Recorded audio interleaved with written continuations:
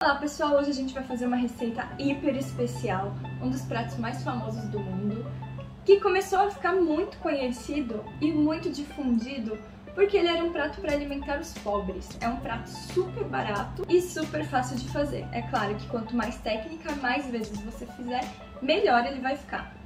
Esse prato é a pizza, com idade de mais ou menos de 6 mil anos, consumida pelos egípcios, depois pelos gregos, mas foi realmente difundida na Itália. Os italianos foram quem aproximou a pizza do que é o que a gente conhece hoje em dia, porque eles começaram a colocar o molho de tomate. Para fazer a massa você não adiciona nenhuma gordura. A massa tradicional napolitana só necessita de farinha de trigo, água, sal e fermento. Então bora fazer essa receita. Conto com seu apoio, se inscreve no canal, curte, compartilha e vamos nos ajudar. Vamos testar então essa receita de pizza napolitana. Eu vou fazer exatamente como eu vi os italianos fazendo. Eu vou colocar a água numa travessa grande e vou diluir o fermento nessa água. Água fresca, temperatura ambiente da torneira mesmo. Assim que diluir bem o fermento, eu vou adicionar aqui a farinha de uma vez só. E vou mexendo com a colher até dar o ponto de sovar.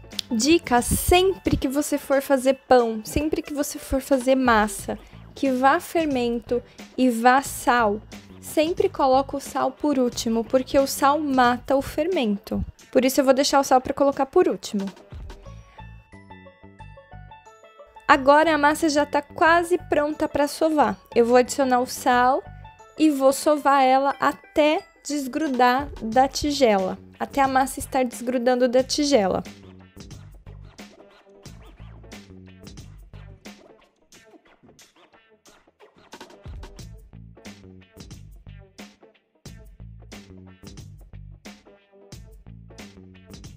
Agora que eu vejo que ela já tá no ponto bom, eu vou cobrir e vou deixar ela fermentando por 4 horas.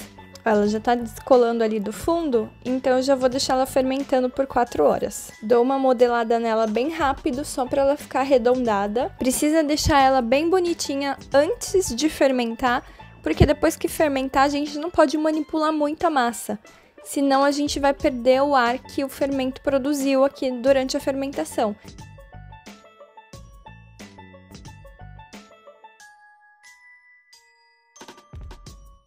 Aqui na mesa mesmo, cubro com um pano e deixo fermentar por 4 horas.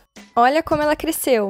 Agora eu vou colocar ela na bancada e vou porcionar. Uma pizza legal, um tamanho bom, é a massa de 280 gramas. Essa receita dá exatamente 3 pizzas. Para cortar a massa, sempre com algo cortante mesmo, nunca puxa um pedaço, porque quando você puxa, você aperta o ar que ela incorporou, vai embora. Então sempre corta ela com uma faca ou com uma espátula, de preferência com uma espátula. A minha espátula de padaria não tá aqui, mas essa daqui funcionou. Então eu corto ela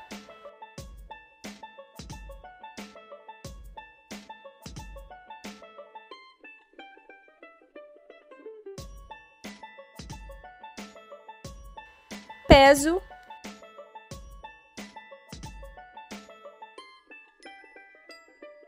e eu vou dar essa boleada bem delicadamente para não perder o ar da massa.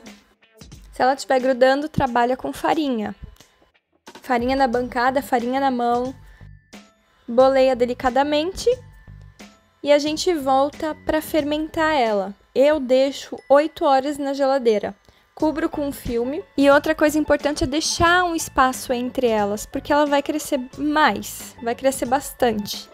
Então ela precisa crescer redondinha para ficar mais fácil na hora de você abrir. Se ela se deformar, grudar na outra, na hora de abrir vai ficar, não vai ficar tão bonita.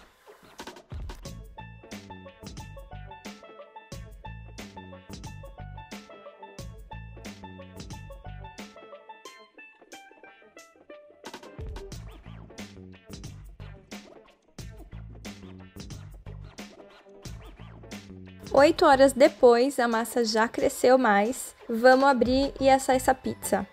Eu coloco ela na bancada com bastante farinha e vou apertando do centro, empurrando para as laterais, do centro para as laterais, e ela vai se abrindo e a borda vai ficar já mais alta no formato correto de fazer a pizza. Coloco o molho no centro. Esse molho eu fiz um molho de tomate normal, que eu fritei um pouquinho de alho, cebola, cozinhei os tomates frescos, bem maduros, e no final eu bati com manjericão e azeite de oliva. Simples. Agora não tem mais segredo, tá quase tudo pronto, os recheios estão prontos, é só colocar molho na massa, pré-assar quando já tiver na metade do tempo de cocção, eu tiro a massa, ponho o recheio e volto pro forno para finalizar. Como eu não tenho forno de pizza, eu comprei essa pedra para colocar dentro do forno e tentar aproximar um pouquinho o resultado. Claro que nunca vai ficar próximo de uma pizza assada num forno ideal, mas é melhor do que nada. Assar a pizza em forno caseiro nunca vai te dar o mesmo resultado que assar em um forno de pizza. Porque no forno de pizza a temperatura é muito mais alta. Então você assa ela mais rápido e ela não resseca tanto. Como o forno de casa não atinge temperaturas tão altas, ela tem que ficar mais tempo para ficar crocante e ela resseca demais a massa. Por isso, não vai ficar perfeito, mas vai ficar aproximado, porque essa pedra, ela tenta fazer a função de um forno de pizza. O calor vem de baixo, ela segura bastante calor, mas não é o ideal. Gente, agora é só colocar o recheio que quiser. Eu tô fazendo de cogumelos, de quatro queijos, marguerita. Coloco um pouco de presunto parma pra dar aquele tchan. Outro sabor que eu amo, sou fascinada, é mussarela de búfala, rúcula e tomate seco. Hum, fica bom demais.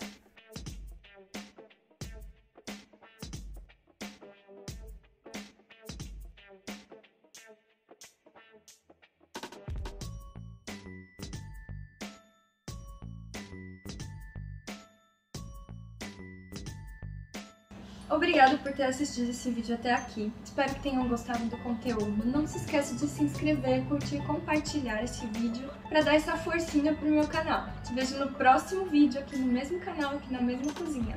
Tchau, tchau!